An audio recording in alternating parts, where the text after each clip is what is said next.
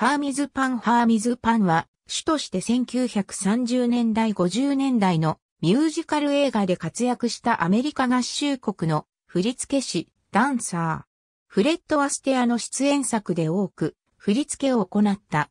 ギリシア系移民の子として生まれダンサーを志すが、折からの世界恐慌の煽りもあって、芽が出ず、活動の場を初期のハリウッドに移す。空中レビュー時代でアステアに見出され、以後、RKO のアスター・ロジャース映画で振付師として活躍した。アステアは主演したほとんどすべての映画において、ミュージカルシーンを自分で振り付けることにしていたが、その際に相談相手となって様々な提案をしたり、時にはペアダンスの相手役を務めたりしたのがパンであった。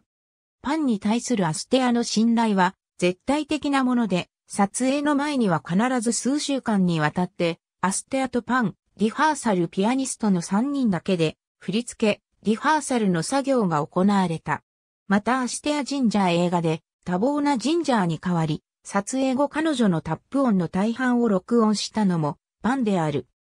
ジンジャーとのコンビ解消後も、アステア映画に参加し、1960年代のテレビ番組でも振り付けを行ったが、フィニアンの虹では、振り付けが不評で途中降板させられるなど、徐々に時代の流行と合わなくなり、同作を最後に映画から引退した。ありがとうございます。